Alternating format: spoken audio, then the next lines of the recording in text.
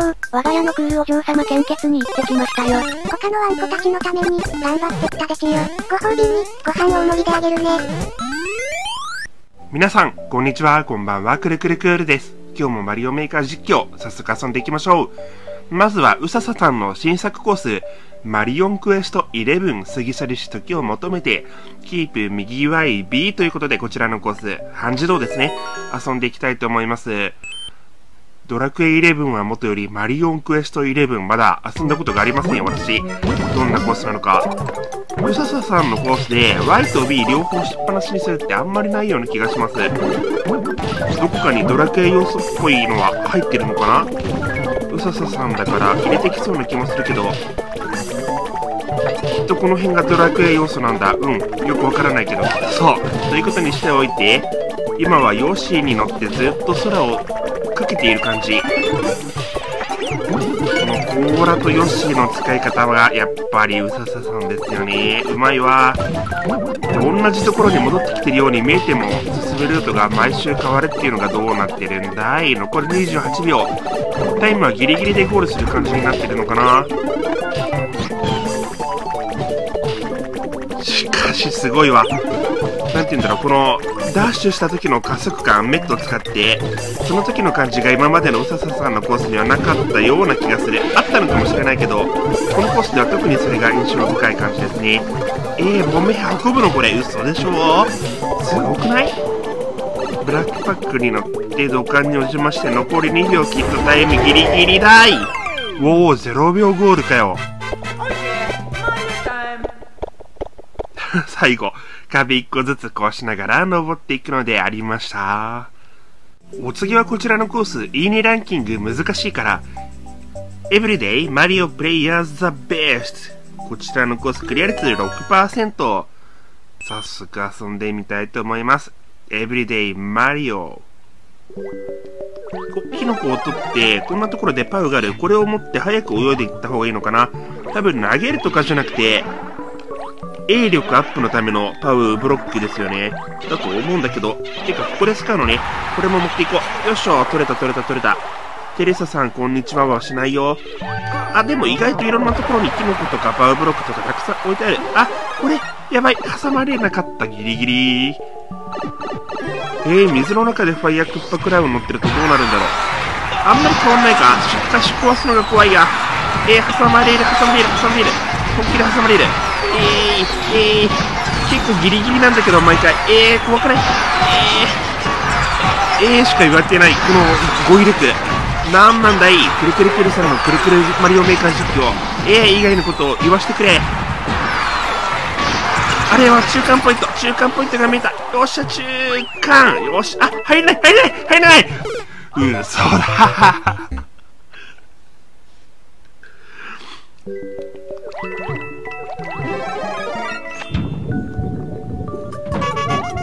まさかそこでやられるとは思わなかった。あーしまった。これ多分真ん中行くだけでよかったんだと思うんだけど、ダメージを食らってしまった。エブリデイマリオ、ファイヤーとか飛んでこないかな。ところどころキノコが出てきてはいるんだけど、出てきてるっていうか、泳いできてるっていうのかそれでもこの攻撃の激しさは凄まじい。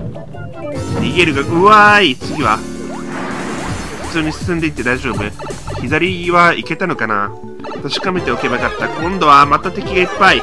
だけどこっちは今度はもスターだぜ。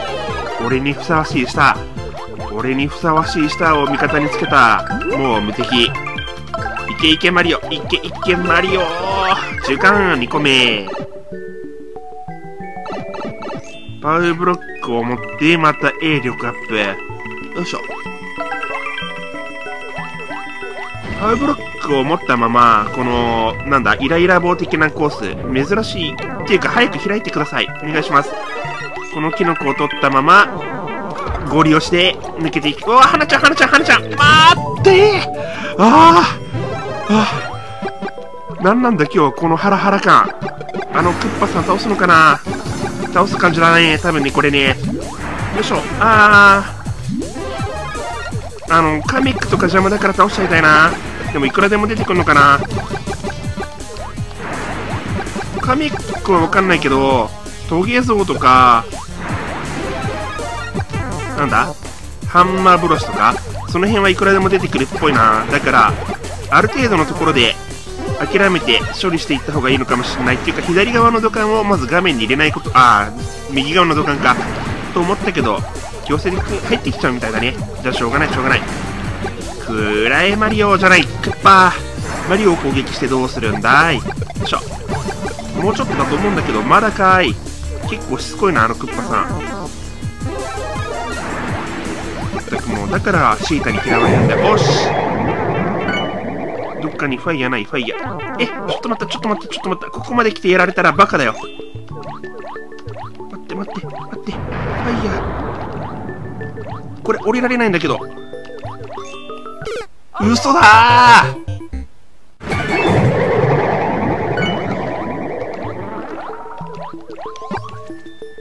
よし。よし。声が裏返った。そのぐらい嬉しかった。ファイヤーマリオのまんまクッパを倒して、次の図鑑にお邪魔します。もうゴールだ。よね？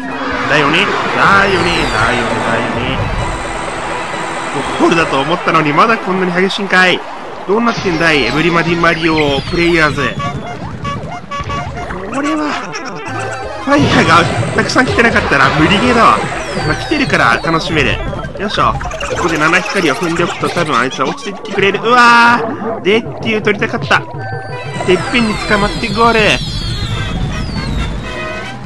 いや、最後まで気の抜けない水中ステージ。水中珍しいけど楽しみましたね。ありえない死に方2回したけど、ありがとうございました。さて、お次はこちらのコース。恐怖、川島ピンボール、ももさんのコース。クリア率6.5%ですね。川島教授のアミーボを使ったピンボールコースが想像されますけれども、果たして、果たして？あ、タイム制限も結構短いんだ。ピンボール、これはジャンプはできないか？えーと、自分、え、え？あ、扉に入るのか。何をやっているんだ？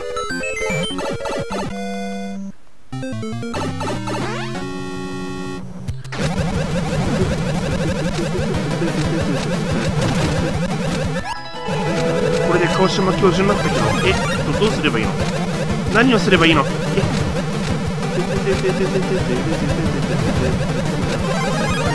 ええーと、あの、アミーボのキノコ取りまくればいいわけでもなさそうだし、どうすればいいんだい？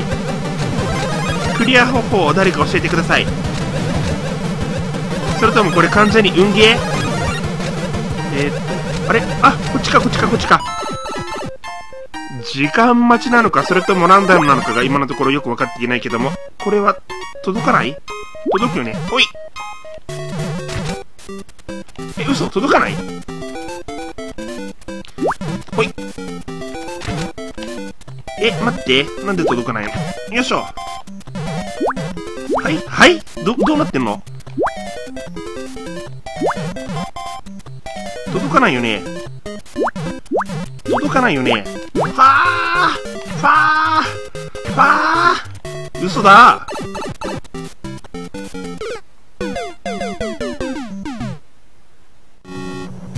くるくるくるさんは考えた。そしてある結論に達した。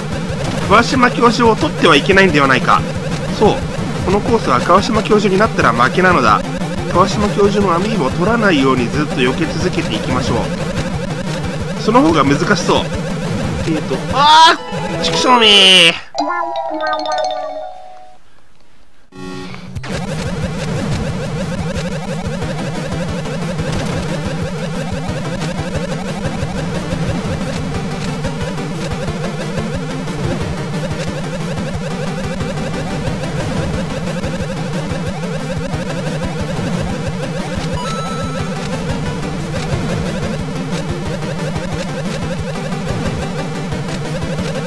右側のコイン1個取っちゃってるけど大丈夫。ああそう攻撃が攻撃が激しい。これいけるよね。いけるいけるいけたよっしゃこれああ普通のキノコか。そうかアミーボを取ってると今のキノコを取れないから上のハテナブロックを叩けないと。やられたよ。川島教授強えわ。これ脳トレしないとクリアできないよ。間違いない。お次はこちらのコース。クッパジュニアがワールド1の4に挑戦。マサさんのコース。最近別の方の動画でね、クッパがマリオ、初代マリオの1の2をやってみたっていう動画見たんだけど、あれ面白かったですね。これもそんな感じのコースなんでしょうか。クッパジュニアがワールド1の4に挑戦していきます。そうだね、そんな感じのコースだね。ただ、ワールド1の4って正直微妙すぎてどんなコースだったか全然覚えてないんだけど、クッパよりも移動速度速そうだから誘導するのは楽かな。こうやっても勝手についてきてくれますしね、スピンしたりジャンプしたりして。こんなコースだったっけ？ワールド1の4って。これ初代の1の4かな全然覚えてないわ。早く来いよ、七光。ちまちまやってんじゃねえぞ、この野郎、ちくしょうめ。この、ハテナブロックは何なんだ、一体？ね、ここでクッパさんを地面に落としてやればいいんだけども、七光早くおいで。こっちだよ。こっちだよ。早くおいでああ危ねえ今ダメージ食らったかと思った。こっちに来れば勝手についてくるかな。いや、消えそうだから怖い。来た来た来た。ここまで来ればついてくるでしょう。七光。早く来いよ何親子対決が嫌だとかなんか生意気なことを言ってるんじゃないでしょうね。行っちゃうよ。でも、そうすると、クリアできないんだよ。い